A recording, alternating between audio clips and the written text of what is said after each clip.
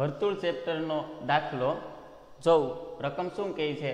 વર્તુળના કેન્દ્રથી પાંચ સેન્ટીમીટર દૂર આવેલા બિંદુ એ માંથી વર્તુળનું કેન્દ્ર ઓ ઓમાંથી વર્તુળની બહારનું બિંદુ એ આ અંતર કેટલું છે? પાંચ સેન્ટીમીટર. પાંચ સેન્ટીમીટર દૂર આવેલા બિંદુ એમાંથી દોરવામાં આવેલા સ્પર્શકની લંબાઈ ચાર સેન્ટીમીટર.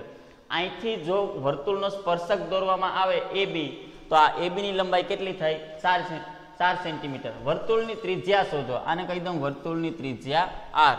હવે જો ત્રિજ્યા હંમેશા સ્પર્શકને કેવી હોય? લંબ હોય. ત્રિજ્યા હંમેશા સ્પર્શકને લંબ હોય. તો, ત્રિકોણ ઓ એ બી. કાટકોણ ત્રિકોણ છે. કેવો ત્રિકોણ છે? કાટકોણ. કયો ખૂણો નેવું અંશનો? ખૂણો બી નેવું અંશનો છે. આ બી ખૂણો 90 ડિગ્રીનો. હવે નેવું અંશનો હોય તો પાયથાગોરસનો પ્રમેય લાગે. પાયથાગોરસના પ્રમેય મુજબ કર્ણ થાય એઓ. એઓ સ્ક્વેર બરાબર OB square plus AB square.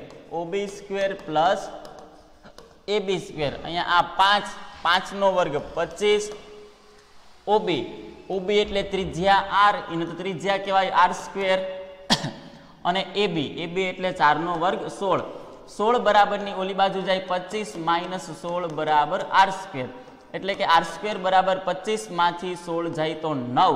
અને આ વર્ગ બરાબરની આ બાજુ આવે તો વર્ગમૂળ. અને નવનું વર્ગમૂળ કેટલું થાય? ત્રણ. એટલે કે ત્રિજ્યા મને મળી ગઈ ત્રણ સેન્ટીમીટર.